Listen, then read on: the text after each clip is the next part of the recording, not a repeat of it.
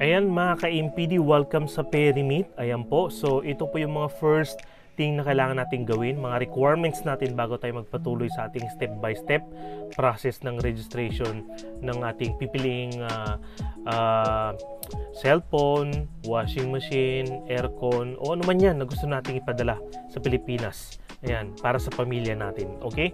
So, requirements natin para sa iyo bilang OFW dito, borrower, ayan, any valid ID, Philippine or resident ID abroad. So, visa nyo, passport, ganun. Nandiyan po valid visa or contract. Ayan.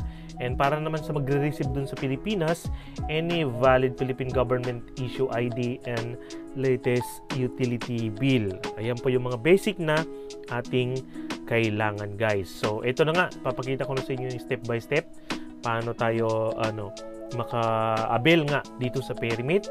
Ayan. Um, let's go. Ito na nga yung website ng Perimate guys, uh, shop.perimate.ph. Pero para mas madali, dito sa video to mismo, dun sa description, sa baba. Ayan, meron pong link doon. I-click nyo po para mag-register po kayo dire-diretso sa, sa Perimate. Ayan po, step by step, ito po yun. At least meron po kayong idea. So, ito na nga. Unang-una, select category. Ayan po. Yun yung unang-unang uh, pipiliin natin. So, depende po kung gusto nyo. Small appliances, speakers, printer, mobile phones, laptop, tablet, television, toys. Again, website po to ah. Website po to. So, ito na nga. Gusto ko, for example, gusto ko mag-order ng TV, television. Yan, television. Pagkatapos nun, kung taga saan ka, yun, ilagay nyo po yung area nyo. Halimbawa, Sampalok. Yan, Sampalok, Quezon. Yan po. Click ko. Yan, Sampalok. So, meron na akong lugar, Sampalok. So, gusto kong kunin tong TV na to. Ayan double click ko na. So ayan na yung uh, ah, TV na pipiliin ko. So yan yung price 10,998 so pay in installment okay? Installment ang gusto natin kasi yun ang mas uh, gusto natin na uh, afford natin kaya ng budget. Pay in installment na click na.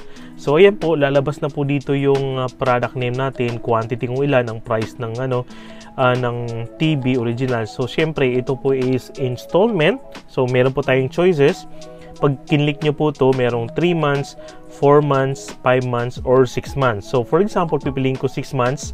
Ayan. So, yan yung price niya. Down payment, 2996.57, 934, ganyan. And then, uh, ito nga, meron nang uh, nagtanong siya, I have a promo code. So, gamitin nyo po yung uh, promo code ko na sinabi ko dun sa isang video ko na Perimit MPD para agad uh, maka-discount ka ng 500 pesos. Ayan. I have a pre- promo code yan. Capital letter pay remit MPD. Ayan po. And then, click apply. So, yan. Nakikita na po ninyo ha. You have suc- successfully applied following pro- promo code e Permit MPD. So yun, discount amount 500 pesos na, 'di ba? Napakalaking discount na rin 'yan. So yun makikita pa rin ninyo, ganyan po yung ano, uh, pesos po pinag-usapan dito ah. So parang malaki lang yung malaki lang yung number pero pesos po pinag-usapan natin. So 3 months 'yan. So gusto ko halimbawa 6 months, yan po yung lalabas. So installment amount is 2,293 pesos. Nasa 190 dirhams, something like that. So click na po ninyo yung apply for installment.